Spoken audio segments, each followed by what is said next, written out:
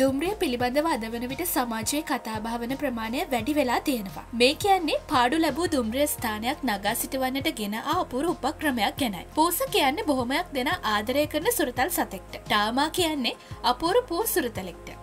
ඇගේ විශේෂත්වය වන්නේ ඇලෝ ප්‍රථම පුස් දුම්ග්‍රිය ස්ථානාධිපතිනය වීමයි. වකයාමහි කිනොකාවා නගරය ආසන්නේ පීටි කිසි නම් දුම්ග්‍රිය ස්ථානයේ තමයි ඇයසිය රාජකාරය සිදු කළේ. ටාමාට පෙර මේ ස්ථානාධිපතිනියව සිටි ටොෂිකි කොයාමා තමයි මේ අපුරු අදහස් අරගෙනෙන්නේ. වකයාමා විදුලි දුම්රිය සමාගම පාඩු ලබමින් තිබුණා. ඉතින් ප්‍රදේශයට සංචාරක ආකර්ශණ ඇති කරන්න ටොෂිකි තමන්ගේ සුරතලාවුණු ටාමාව ස්ථානාධිපතිනය කරන්න තීරණය කරනවා. කිසි දුම්ග්‍රිය ස්ථානය පූස් තේමාවගට අනුව පෙළගැසීම් නවීකරණය කර තිබුණා. ඇගේ අදහස සාර්ථක වූ අතර සංචාරකයන් වැල නොකැඩී එන්නට වුණ. දෙදස් පහළ වසරේදී ටාමා මිය කියා. ඇය වෙනුවට නිටාමා නමින් අනුප්‍රාප්තිකයෙක් පත්වනවා.